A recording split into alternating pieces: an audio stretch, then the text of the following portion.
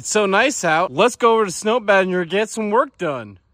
Finally back with Snow Badger after 15 days in a row. Oh, there he is. The guy's gonna help out. You guys know where we're at back with PHP. We got a lot we gotta do today. We wanna get the new oil pump in. We wanna get the new tensioner in, new alternator, get all that stuff done. Then we gotta go get a new built just to make sure everything's gonna be good to go with it. But right now I'm gonna go ahead and take all this stuff apart so then uh, Brandon can put the new oil pump in and make sure it's good to go. So let's go ahead and get it done.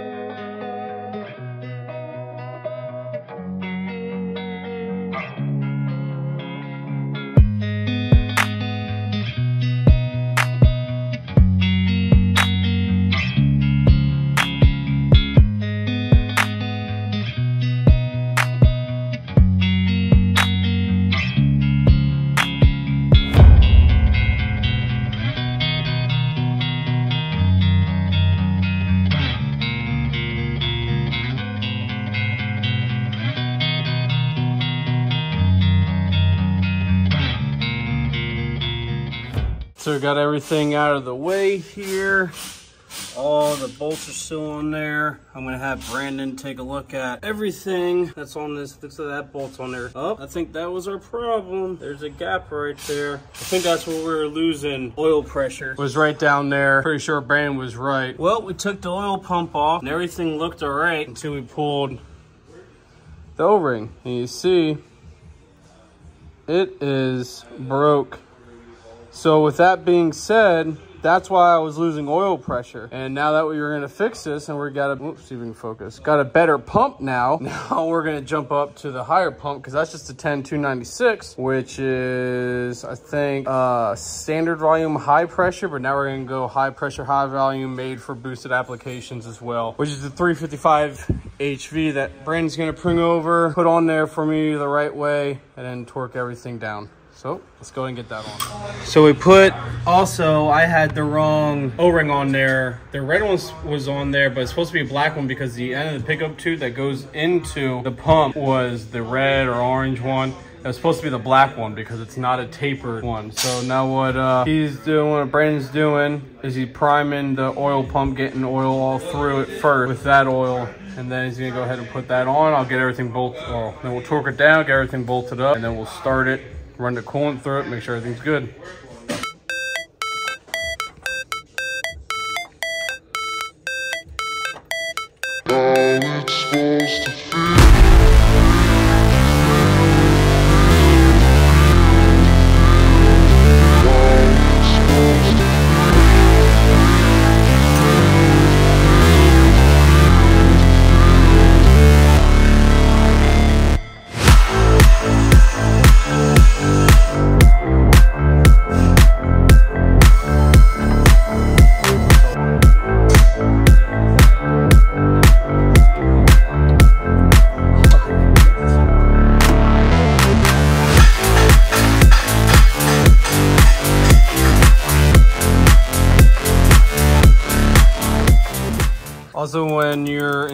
These, Brandon said that you actually turn the engine over so you can center the pump before you tighten. So like all the four bolts that go around it, you just bring them close, but don't actually snug it up. And then you turn the pump to make sure that you center the uh, oil pump and then you'll be good to go.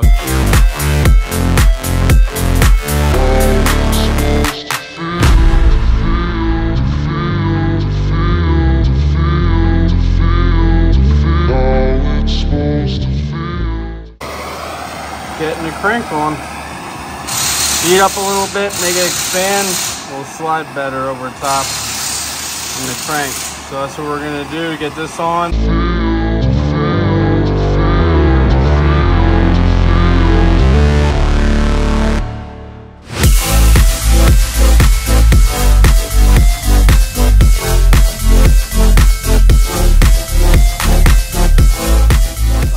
Two with Snow Badger. Last night, we finished up putting the new oil pump in, got the water pump, got the new alternator in there. Um, I'm also going to clock the wastegate over this way and have it follow the intake tube because the new tensioner is going to sit right here. And then if I have this, it's going to be in the way. As you see, that's all lined up.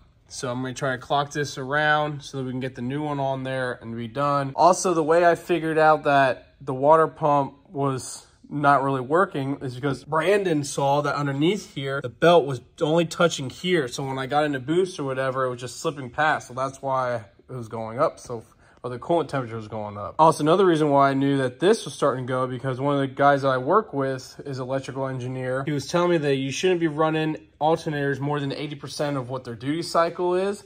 And that was at 100% because this was getting hot. And if you also see on here, the coils in there is what it's supposed to look like. Mine are burnt. So this was getting really hot. I was overdoing it and alternators are not supposed to get hot. So it was causing uh, charging problems. So right now I'm gonna go ahead, get the wastegate situated, get the new belt put on, which I gotta go get. And then we'll be able to start this up, put coolant in it, make sure everything's good to go. And we can drive this around, see how it goes, maybe get some Dragy data. So let's get to it.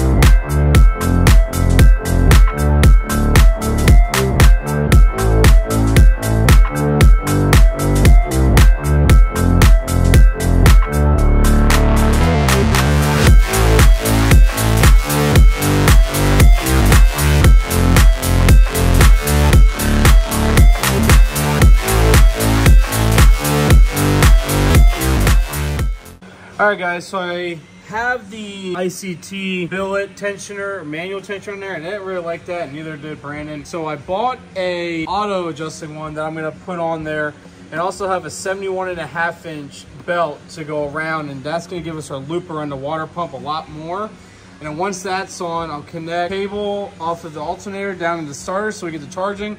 And that's up right now. I might take that off and put when I put the other tension on to see how it works. But right now, let's go ahead and get that on and see how everything works out.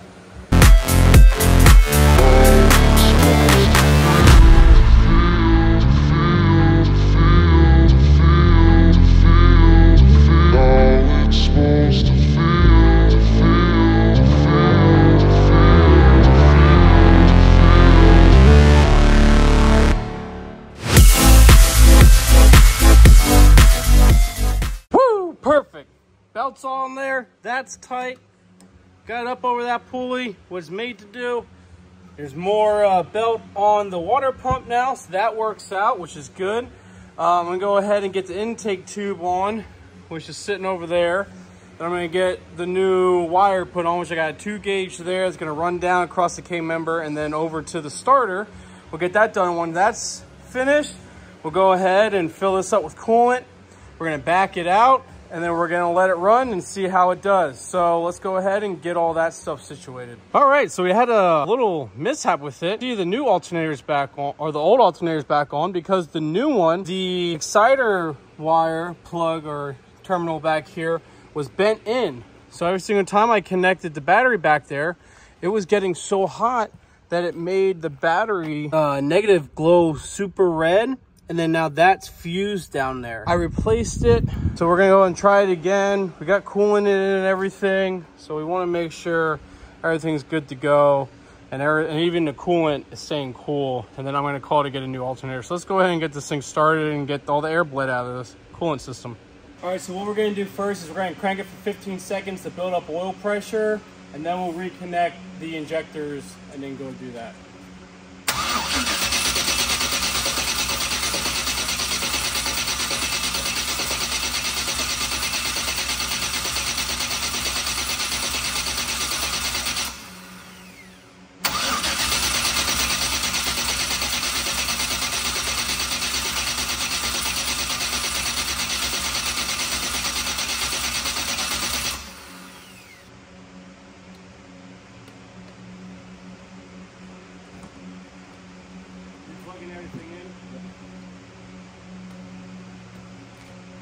Send it.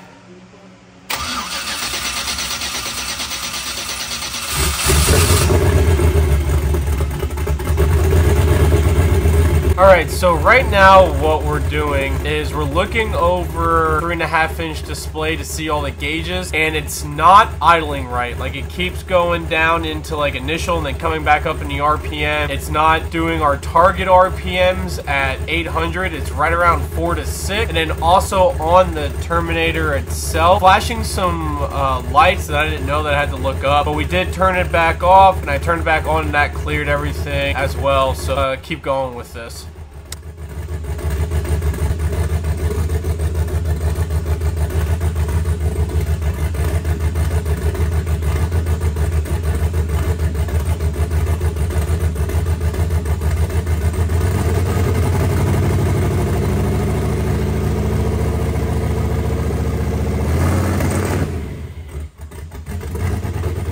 So if you just heard that little rev, how it kind of like went up, did like a little stutter and came back down and almost stalled out, that's what we are battling on the Terminator X system right now. It, it was confusing what was going on. Um, I thought maybe I took, I didn't plug in the crank signal sensor in all the way. So after I turned it off, I did all that. Did fix everything. I didn't know that was going on. I didn't know to check the ECU as well.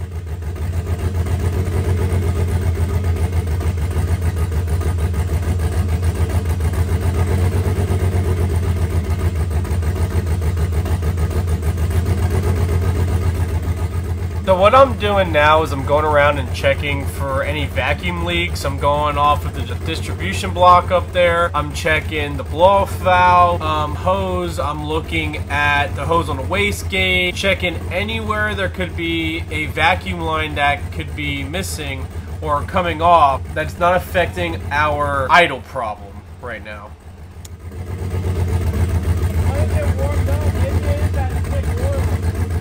So like I said before, we also brought it out here to get a coolant situation. So I put some coolant in. What Brandon's doing now is he's touching the upper radiator hose, which he's squeezing it to try to push a lot of the air pockets and air bubbles out of the cooling system while I go around and still figure out if we have any air leaks because of that, distribution block could cause any problems because I was having some problems with it before. So now we're going to go back and take a look at everything of what's going on. I'm just looking at the monitor through the windshield to see what uh, what's going on with the coolant and also the oil pressure.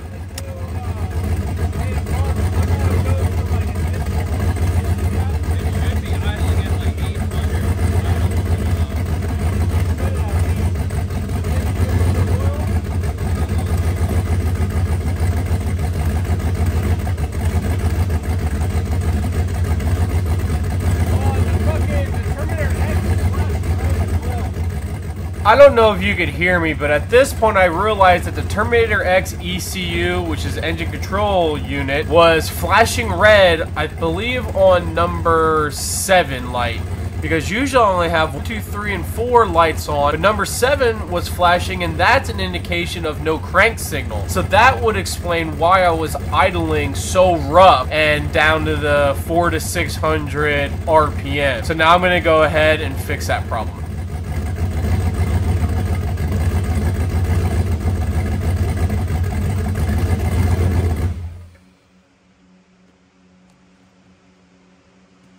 All right, so the oil pressure is around 45 to 50, but it's idling weird.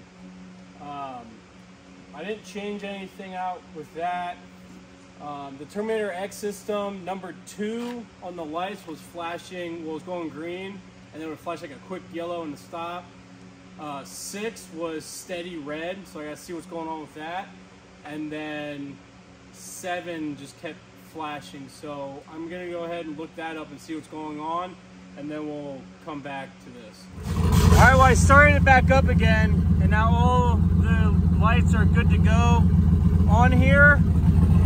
Uh, the line filter is synced. Let's go look at the gauges. Like everything else sounds good, looks good.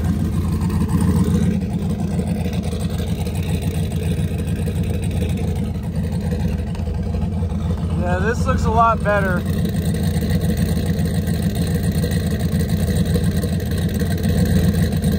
price is at 39.40. It's idling good. 40, 41, 42.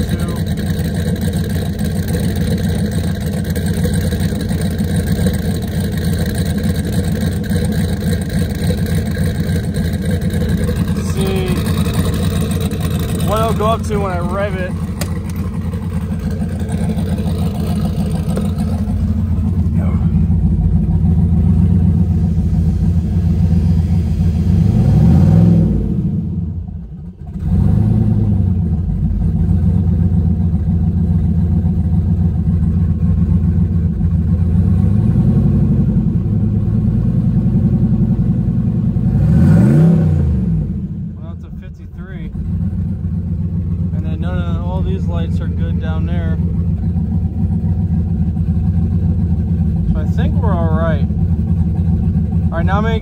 Checking on the uh, coolant up there to make sure all that's good to go because at 161 it looks okay.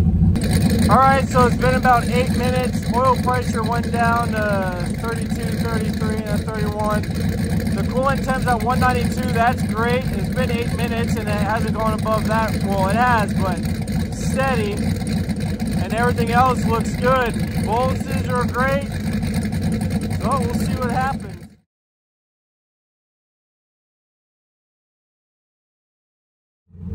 Back in Snow Badger for day three. I started up two times and you see all these green ones were on, but the other time I had the red on there and then a red there now it's flashing. So I just had to push everything back in. The line filter is good down there. You know what, let's just go ahead and drive this home and see how it does. Well, Snow Badger's doing pretty good. Now I know that third gear at 60 mile an hour, it's roughly about 3,000 RPMs. And all the other uh, gauges look good.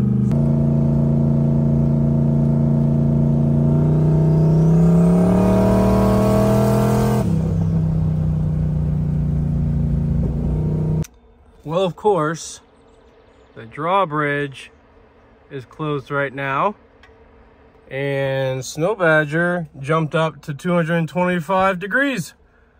So I gotta wait until that goes and let Snow Badger cool down. Like, damn it. and I can't go in reverse because I don't have the trans brake hooked up. So now I gotta sit here and wait for that to go. Yeah, well, I'm fucked. Snow Badger doesn't start. Battery's dead. Like always. All right, some really nice guys just helped me out back there. Uh, they lifted up one bar back there. I didn't get their names, so if you watch the channel, comment below. I appreciate it, and hopefully this gets me all the way home. Thank you guys. There's nothing worse than getting stuck behind a truck. While the temp's at 234 and I'm just trying to move so I can get air. Like this really sucks. And then the oil pressure is going back down to what it used to be down there in the bottom right, and I don't know why. And it's it's not good. You put a bigger put a bigger pump. Oh good, he's turning. All right, let's keep going.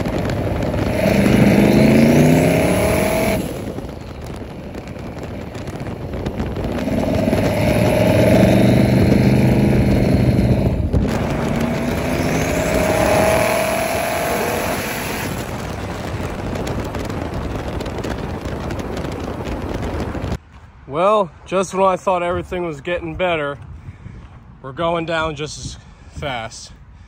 So, drove it back from Brandon's shop about an hour, and uh, oil pressure's going down.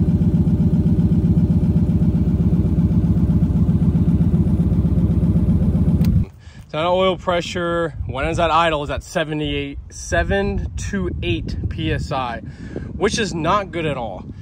So now what we're gonna do is uh, I'm gonna drain all the oil out, see if there's any metal in it, and make sure everything's good to go. Because if there's no metal in it, then we don't know what's really going on. Besides, we gotta take the whole thing apart and got another engine that we can put in this. But right now, there is metal in it, which that'd be a good thing. Maybe the main bearings, which is the bearings that the crank sits in as the crank rotates around or the rod bearings is what the connecting rods, so you got your pistons, connecting rods, and the connecting rods attached to the crank. So either the connecting rod bearings or the main bearings are starting to go. So now I'm gonna get Snow Badger down to the shop here, get up on jack stands. I'm gonna check the oil in it and make sure everything is gonna be good or not. I really, it'd be nice if it wasn't, because then we can get a better engine in here. But then if it is good, I don't know what Brandon's next step is for this. We're gonna have to tear it apart and figure out what's going on. But it's weird because the pump we have in there, the oil pump, it's one of the badass oil pumps on the market. Like we should be pushing at idle 30 to 40 psi, and then maybe under boost be upwards of 60 to 70. So I'm gonna go ahead and get this back down there. We'll be good to go. You guys want to come help? Okay, let's go help.